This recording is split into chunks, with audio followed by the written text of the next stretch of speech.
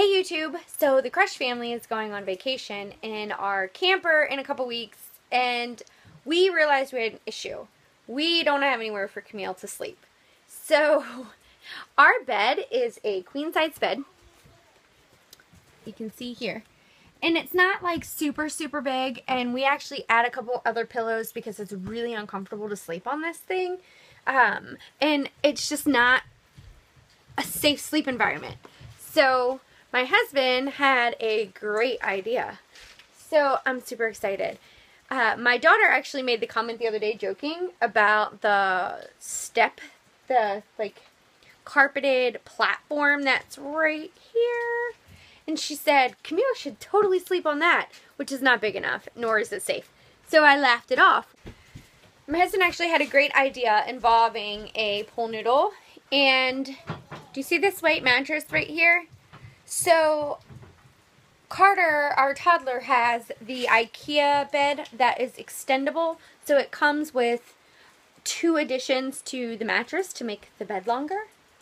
And he's going to build a co-sleeper to go right there so that Camille can still sleep in bed with me and this will not be an issue. Stay tuned. So here is the platform that he built.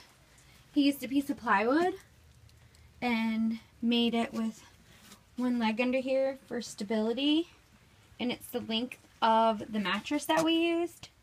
So the mattress was 38 inches long by 15 inches wide and then the leg underneath was 20 inches high and it actually lifts it up enough so that the mattress that we are using is almost flush with my mattress. And now we have the mattress with the pool noodle so that she can't get her head underneath the shelf. Now, yes, I do lose that storage space that is back there, but if I really wanted to, I could probably just use it for like extra sheets. And then we have the pool noodle down on the side here so she can't roll down in here. And it's pressed against the mattress so she can't get down in there.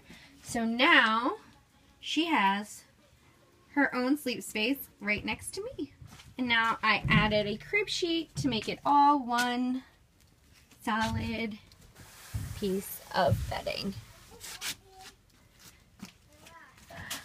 So now we have a co-sleeper in our camper. And here's Camille enjoying her new bed.